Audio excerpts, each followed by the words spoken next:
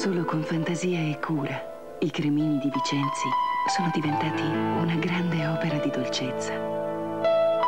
Vicenzi, la grande fantasia pasticcera.